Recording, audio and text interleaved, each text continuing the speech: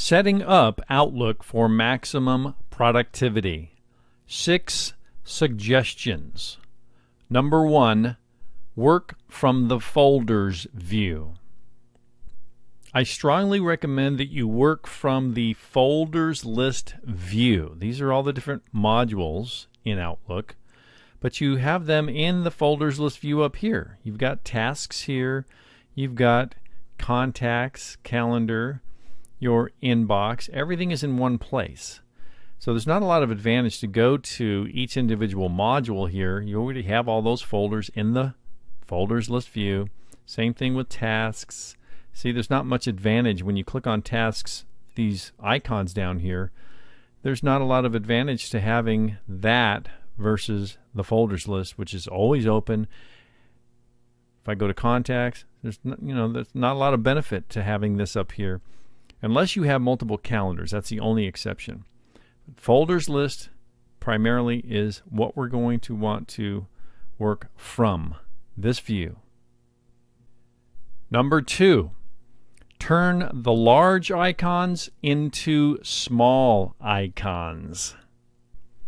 What are the large icons? These big fat icons right here I'm talking about. They're kind of wasting real estate. If we're not going to be using them much, let's get rid of them. And here's how you do that. You just hover. And by the way, hover just means move your mouse without clicking. So you move your mouse until you see that icon right there. See, it's got a black triangle or an arrow pointing up and down with like a, a long equal sign in the middle. That's like a separation icon. When I click and drag down, watch what happens. The big fat icons turn into little tiny icons and it frees up some more real estate here in case I have more files and folders I want to open up. I can see them all in one place. Nice. So again, hover, drag to make them big, drag to make them small, make them small. Number three, only show folders and calendar icons.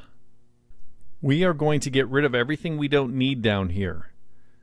So we're going to keep folders, list view, and calendar. The only reason you keep calendar is if you have multiple calendars, you can view them all together. You have to have this view in order to turn on and off the check boxes.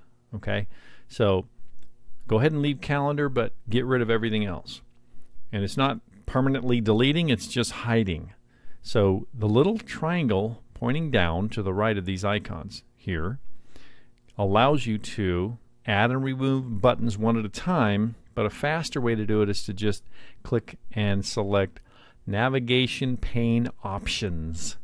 And then you've got these little check boxes. So I'm going to hide mail contacts, tasks. The only two I want to show is calendar and folder list. And if you only have one calendar, you can hide calendar. But I'm going to go ahead and keep mine on. Click OK.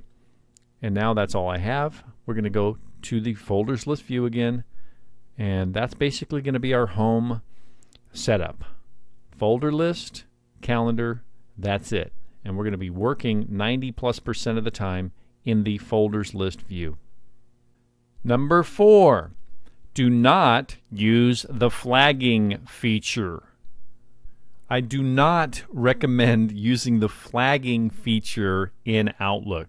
When you right click on a task, for example, you can go to a follow up and add a flag to this thing, and then it shows up in your to do bar. Email, you might have that little flag over here. Now, I just created this view to show you in this training, but I don't have this showing ever but you know you can click on it and then it's flagged for follow-up.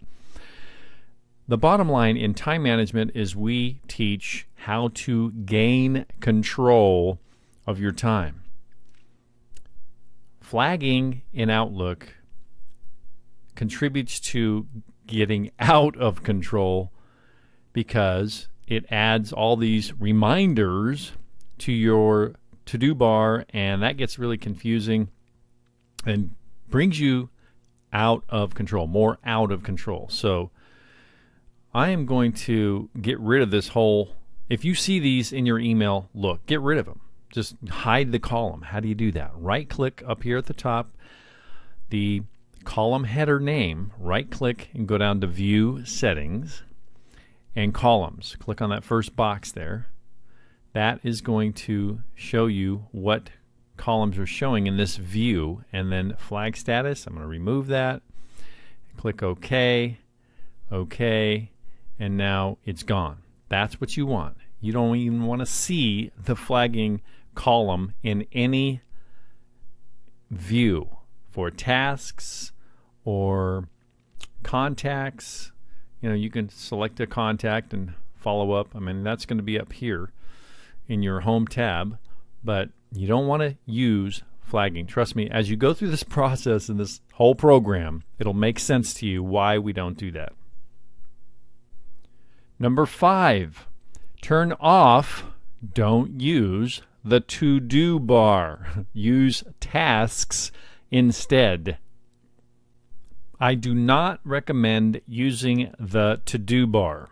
That's right over here in this particular view. I have it showing for purposes of this training, but I normally don't have it showing at all. So how do you turn that off so it doesn't even show up here so I can gain a little more real estate on my monitor? Simply go to the View tab and To Do bar, drop down off. Just turn that thing off because we don't need it with the system we're using. We're using tasks instead. So it is off now. I go to calendar and if it's showing, or even if it's minimized, I want to turn it off. How do I do that? Click on the View tab, to do bar off. Gone.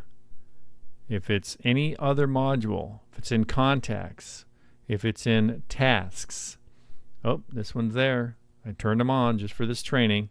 Go to the view, so check all your modules, view menu, to do bar, off.